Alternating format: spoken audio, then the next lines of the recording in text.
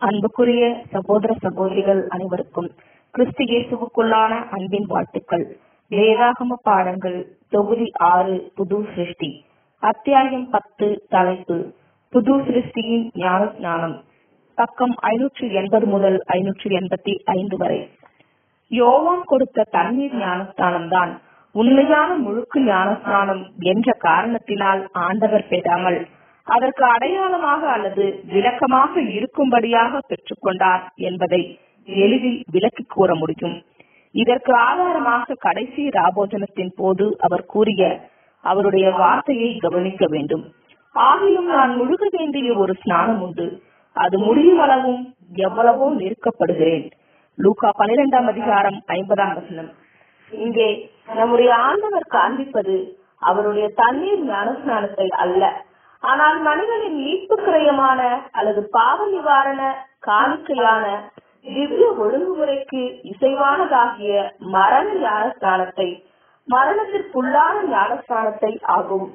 அவர் முப்பது வயதான போது கிடைக்கப்பெற்ற முதலாவது தருணத்திலே இந்த மரண ஞானஸ்தானத்திற்கு தன்னை அர்ப்பணித்து அவருடைய ஊழியத்தின் மூன்றரை வருடங்களில் அனுதினமும் செத்து தன்னுடைய ஆத்துமாவை மரணத்தில் ஊற்றி அவருடைய வாழ்க்கையை அவருடைய சக்தியை அவருடைய பலத்தை பயன்படுத்தி பிதாவின் ஊழியத்திற்கும் தன்னை பின்பற்றி வருபவர்களின் ஊழியத்திற்கும் இன்னும் விரிவாக சொல்ல போனால் தன்னுடைய சத்துருக்களுக்கான ஊழியத்திற்கும் அந்த அர்ப்பணிப்பினால் செய்யப்பட வேண்டியவைகளை கவனமாக செய்து முடித்தார்.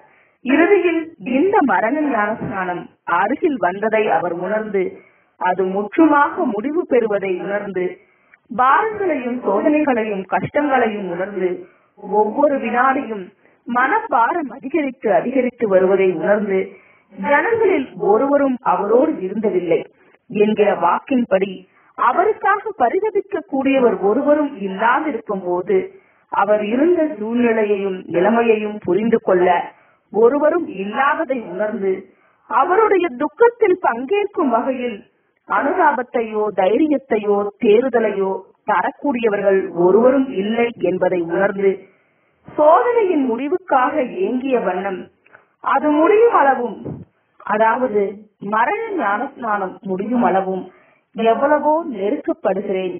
லூகா பனிரெண்டாம் அதிகாரம் ஐம்பதாம் வசனம் என்று கூறினார். பின்னர் கொஞ்சம் காலத்திற்குள்ளே எல்லாம் முடிந்தது என்று கூறி மறித்த போது அவருடைய ஞானஸ்தானம் நிறைவுற்றது. ஆண்டவரும் அவருடைய சபையும் மாத்திரமல்ல முழு உலகமும் மறித்துக் கொண்டிருக்கிறது. ஆனால் கிறிஸ்துவின் மரணத்தில் அவருடைய சரீரமான சபை பங்கெடுப்பது போன்று உலகம் பங்கெடுப்பதில்லை. அங்கே பெரிய வித்தியாசம் உண்டு. பிதாவாகிய ஆதாம் அவனுடைய தண்டனை அல்லது சாபத்திற்கு கீழாக மறுத்திருக்கும் போது அவனோடு கூட முழு உலகமும் மறுத்திருக்கிறது ஆனால் நம்முடைய ஆண்டவர் உலகத்தார் அல்ல. அவர் ஆதாமுக்குள் மறித்தவர்களில் ஒருவராக இல்லை. அவருடைய வாழ்க்கை பரிசுத்தமானதும் எல்லா பாவிகளில் இருந்தும் விலகினதுமாய் இருந்தது என்பதை மாத்திரமல்ல. அவருடைய தாயார் உலகத்தவராய் இருந்தும் கூட அவர் ஆக்கினைக்குட்பட்டிருக்கவில்லை என்பதை ஏற்கனவே பார்த்திருக்கிறோம். அப்படியெனில் அவர் ஏன் மறித்தார்? அவர் நம்முடைய பாவங்களுக்காக மறித்தார். அவருடைய மரணம் பலிக்குரியதாக இருந்தது என்று வேதாகமம் கூறுகிறது. அவருடைய சரீரமான சபையும் கூட அப்படியாகத்தான் இருக்கிறது. அது அவருடைய மரணத்திற்கு ஏதுவான ஞானஸ்நானத்தின் மூலம் அவருக்குள் ஞானஸ்நானம் பெற்றிருக்கிறது.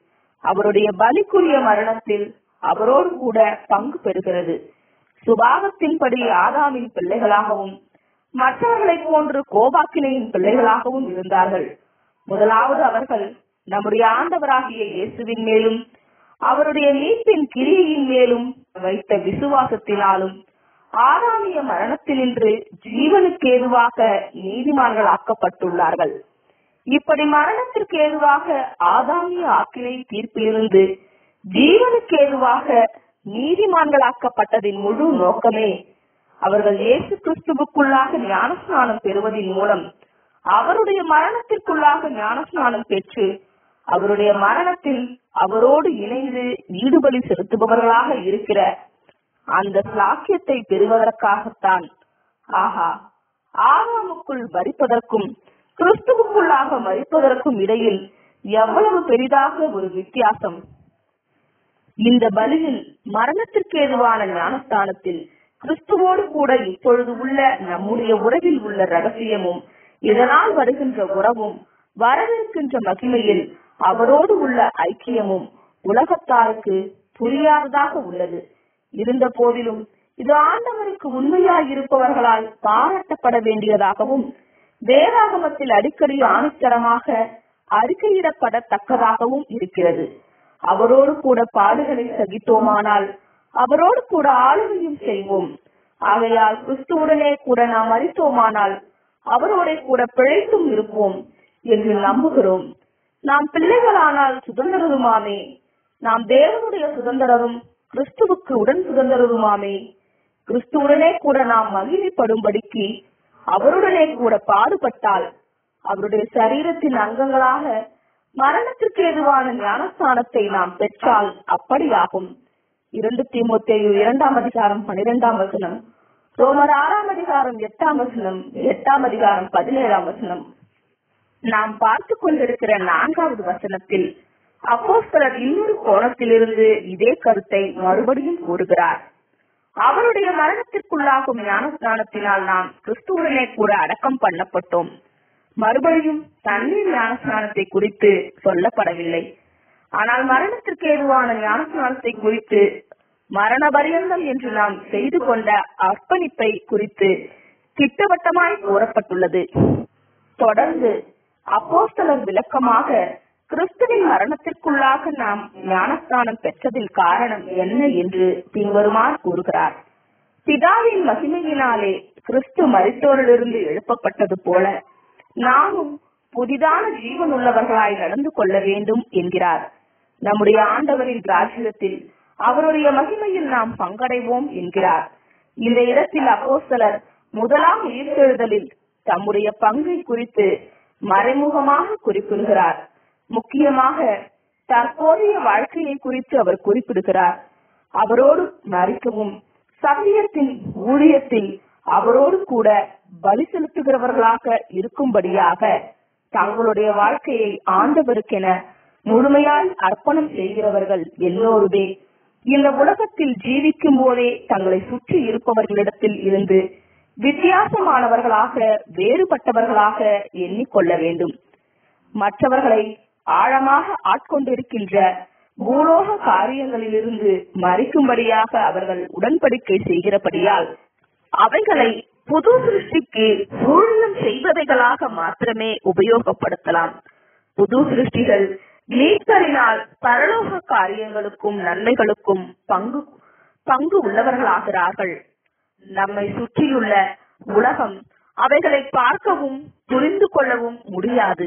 இதோடு ஒத்திருக்கும்படியாக நம்முடைய வாழ்க்கை உலகத்தில் புதியதாய் தெளிவானதாய் நம்மை சுற்றி இருப்பவர்களிடம் இருந்து வேறுபட்டதாய் இருக்க வேண்டும். ஏனெனில் பரலோக சிந்தையினாலான புது ஆவியினாலும் புது நம்பிக்கைகளினாலும் புது குறிக்கோள்களினாலும் நாம் இருட்டப்பட்டுள்ளோம் ஐந்தாவது வசனத்திற்கு வரும்போது தண்ணீர் ஞான ஸ்நானத்தை குறித்த இன்னமும் சின்ன குறிப்பை கூட அப்போஸ்தலர் கூறவில்லை. இருந்தாலும் சிலர் அவருடைய வார்த்தைகளை குறித்து முதலாவது வேறு விதமாய் சிந்திக்கலாம். ஆதலால் அவருடைய மரணத்தின் சாயலில் நாம் இணைக்கப்பட்டவர்களானால் அவர் உயிர்த்தெழுதலின் சாயலிலும் இணைக்கப்பட்டிருப்போம். அவருடைய மரணத்தின் சாயலில் நாம் இணைக்கப்பட்டவர்களானால் என்பது தண்ணீர் ஞானஸ்தானத்தை குறிக்கிறது என்று அர்த்தப்படுத்திக் கொள்ளுவோம் என்றால் உலகத்தில் உள்ள எந்த போதகரும் ஒத்துக்கொள்ள விரும்பாத அளவுக்கு தண்ணீர் ஞானஸ்தானத்தின் மேல் அதிகமாக கவனம் செலுத்துவதாகும். கிறிஸ்தவர்களாய் இருக்கிற நாம் எதை ஆர்வத்துடன் எதிர்பார்த்து கொண்டிருக்கிறோம்? ஆண்டவருடைய உயிர்த்தெழுதலில் முதலாம் உயிர்த்தெழுதலில் நாம் பங்கடைவோம் என்பதை இல்லையா? இதைத்தான் அப்போஸ்தலர் தனது மனதில் உள்ள பெரிய உன்னதமான கருத்தும் நம்பிக்கையும் என்று பின்வருமாறு கூறுகின்றார். இப்படி நான் அவரையும் அவருடைய உயிர்த்தெழுதலின் வல்லமையையும் அவருடைய பாடுகளின் ஐக்கியத்தையும் அறிகிறதற்கும் அவருடைய மரணத்திற்கொப்பான மரணத்திற்குள்ளாகி எப்படியாயினும் நான் மறித்தோரிலிருந்து உயிரோடு எழுந்திருப்பதற்கு தகுதியாக வேண்டும். பிலிப்பியர் மூன்றாம் அதிகாரம் பத்து பதினோரு வசனங்கள் ரோமர் ஆறாம் அதிகாரம் ஐந்தாம் வசனத்தில் சொல்லப்பட்டதை தண்ணீரில் முழுகுவதனால் வரும் நிச்சயமான பலன்.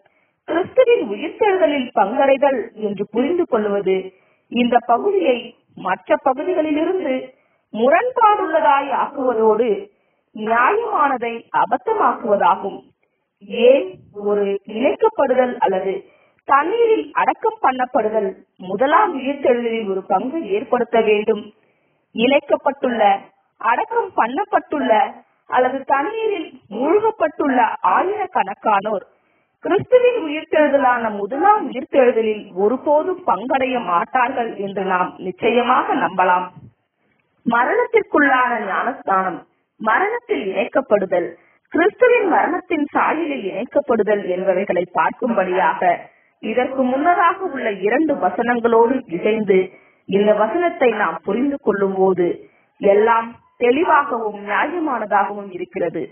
அவருடைய குமாரனோடு உடன் சுதந்திரராய் இருக்கும்படியாகவும் அவரோடு கூட உபத்திரவத்தை அனுபவிக்கவும் அவரோடு மறிக்கவும் அவரோடு ஜீவிக்கவும் அவரோடு அரசாட்சி செய்யவும் ஆண்டவரால் அழைக்கப்பட்டிருக்கும் போது இந்த அழைப்புக்கு நாம் உண்மையுள்ளவர்களாக இருந்தால் நாம் அவரோடு இணைக்கப்பட்டிருந்தால் அல்லது அவருடைய மரணத்தின் சாயலில் அடக்கம் பண்ணப்பட்டிருந்தால் அதாவது தேவனுடைய உண்மையான போர் வீரர்களாய் சத்தியத்தின் ஊழியக்காரர்களாய் இருந்தால் எவ்வளவு நிச்சயமாய் உணர்வோம்.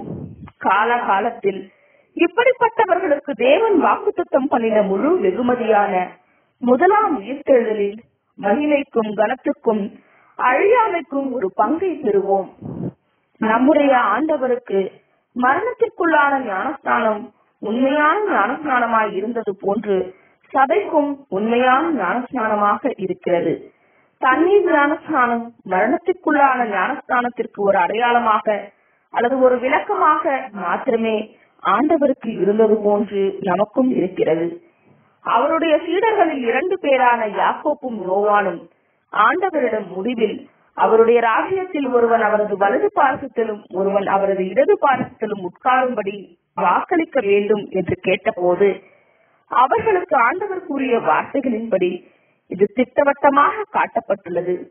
நீங்கள் கேட்டுக்கொள்ளுகிறது இன்னது என்று உங்களுக்கே தெரியவில்லை. நான் பெரும் ஸ்நானத்தை நீங்கள் பெறவும் உங்களால் கூறுமா என்று ஆண்டவர் பதில் கூறினார். அவர்கள் அவருடைய அவமானத்தில் மட்டுமல்லாது மரணத்திற்குள்ளான ஞானஸ்நானத்திலும் பங்கு பெற அவர்களுடைய விருப்பத்தை அறிக்கை செய்த போது ஆண்டவர் அதை ஆமோதிக்கும் வண்ணமாக பதில் கூறுகிறார். நான் குடிக்கும் பாத்திரத்தில் நீங்கள் குடிப்பீர்கள். நான் பெரும் ஸ்நானத்தை நீங்கள் பெறுவீர்கள். மார்க் பத்தாம் அதிகாரம் முப்பத்தி ஐந்து முதல் முப்பத்தி ஒன்பது வசனங்கள். அவரால் அழைக்கப்பட்டவர்களில் தங்களுடைய இருதயத்தில் இப்படிப்பட்ட அனுபவங்களுக்காக வாசிக்கிறவர்களுக்கு ஆண்டவர் இந்த சாக்கியத்தையும் அவருடைய உதவியையும் அருள்வார். இப்படிப்பட்டவர்கள் உண்மையிலேயே கிறிஸ்துவின் மரணத்திற்குள்ளாக ஸ்நானம் பெறுவார்கள்.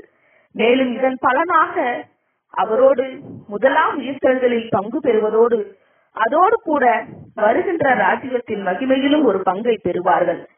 இந்த இடத்தில் நம்முடைய ஆண்டவர் தண்ணீர் ஞானஸ்தானத்தை பற்றி குறிப்பிடவில்லை என்பது தெளிவாகிறது.